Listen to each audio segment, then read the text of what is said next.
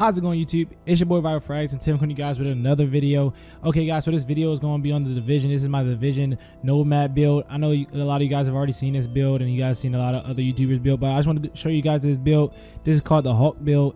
Um, so anyways guys, let's get right into it.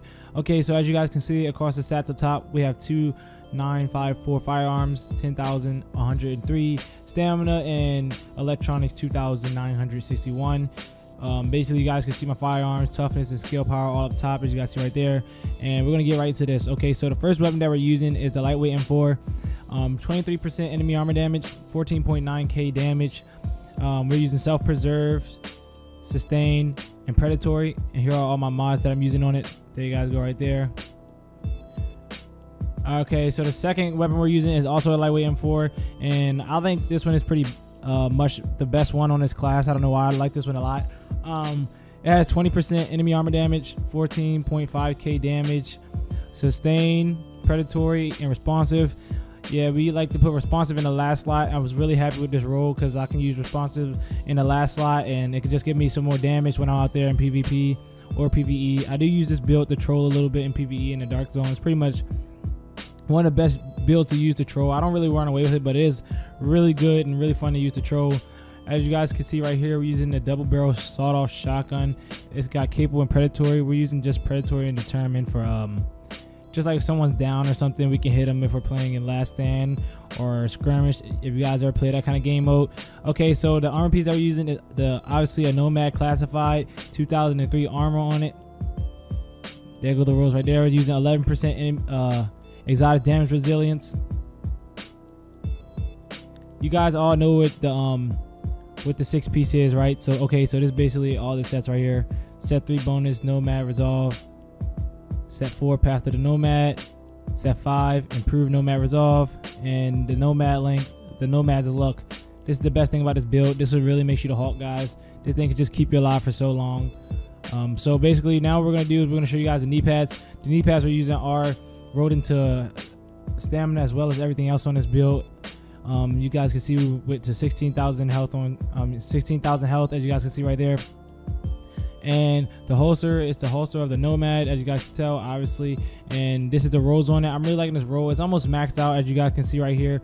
All we need to do is get the first slot for firearms maxed out to 1400 and we're using some gloves. As you guys can see assault rifle damage critical hit damage and skill haste. The skill haste probably could be rolled into something better than that. I don't know why like crit hit chance or something like that or enemy armor damage. But yeah guys there's a, the gloves right there. And as you guys can see here goes a backpack. We're running the backpack. Obviously it's rolled into stamina. And we got health on there for the minor attribute and ammo capacity. You got to expect an ammo capacity with this build only because we're depending on so much for these uh, lightweight M4s. If you have SMGs, you guys can go with SMGs if you want. I say just roll into critical hit chance and critical hit damage like I did. It's going to help you guys out a lot down the road. But yeah, as you guys see with these talents right here, these talents are really good for keeping you alive. The critical hit um, gives you heal uh, heals the user as you guys can see and killing um, a target with sustained on it gives you six percent um, health and that's really good. Plus killing a target regener regenerates 35 health over 20 seconds. That's predatory. As you guys can see with this gun right here you guys can basically keep yourself alive a lot longer with this gun. If someone that had the same exact build did not have this gun. And yeah guys you just gotta abuse those talents on this first gun right here. It's like really good for you guys to use that. And as you guys can see over here in the character sheet, I'm gonna go ahead and show you right now. We only have 8.5 critical hit chance. I'm pretty, wait, let me see guys, sorry about that. Um, okay.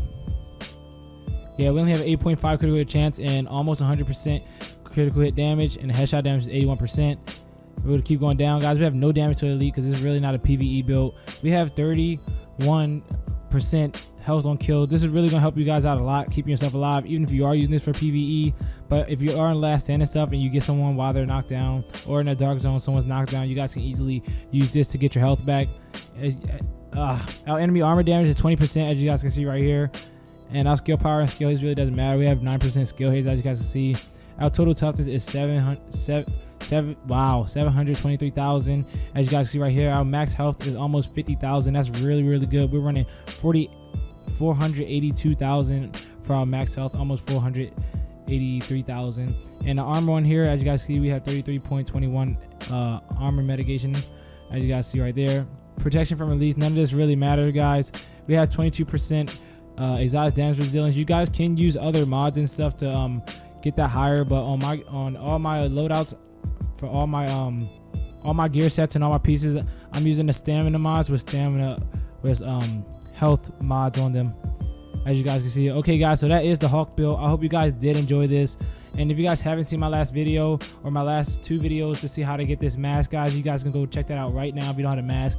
It's probably the easiest way but you want to do it right now guys. It's going to be really easy if you do it right now anyways guys if you did enjoy this video make sure you leave a like on this video subscribe to the channel if you're new comment down below if you got anything to say comment down below if you want to see another video if you guys think of something that you want to see you guys can just comment down below, obviously. And anyways, guys, peace out.